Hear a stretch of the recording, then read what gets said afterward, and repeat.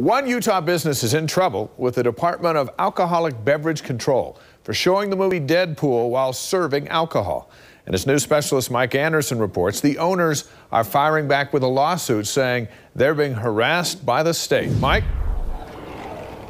Yeah, and attorney for Brewvies says that uh, they are that the state shouldn't be enforcing the law because it's unconstitutional. They say that they feel harassed, and now they're moving forward with a lawsuit against the DABC.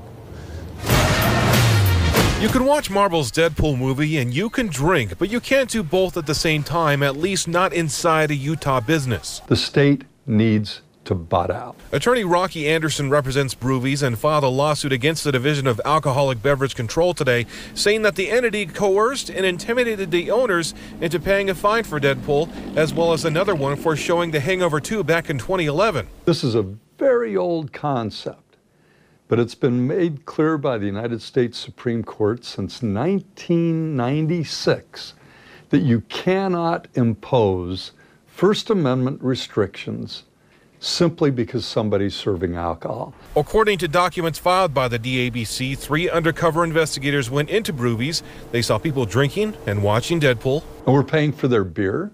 We're paying for their time to watch these movies. We're paying, paying for their time to write it all up. According to the statute, businesses cannot show films that have simulated sex scenes and serve alcohol at the same time.